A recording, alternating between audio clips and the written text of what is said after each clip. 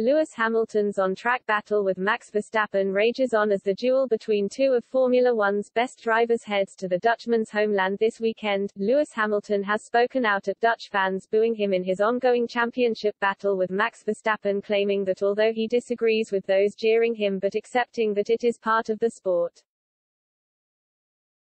Hamilton will line up at Circuit Zandvoort this weekend, in the first Dutch Grand Prix since 1985 the year the Englishman was born, and, as his intense rivalry with Dutch prodigy Verstappen rises at an exponential rate, there is arguably no worse time to head across the North Sea to face an overly expectant crowd. Hamilton heads into the race just three points ahead of his rival, but after being booed at the Hungarian and Belgian Grand Prix, the jeers towards him will likely continue in Verstappen's home nation.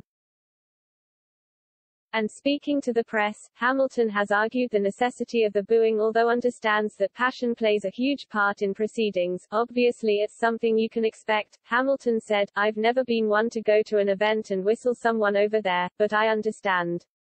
It's the passion the fans have, or the aversion they have towards their opponents. I respect that.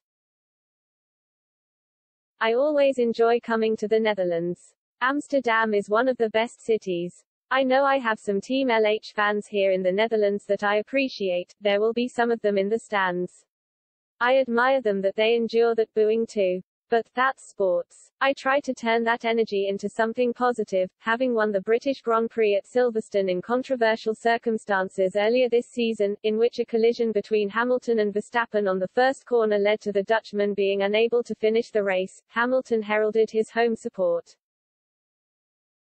Winning a record eight races at the famous track, Hamilton lauded British fans by claiming that their behavior is typically exemplary. He continued, British fans don't boo. The British fans are amazing. They are there to have a great weekend.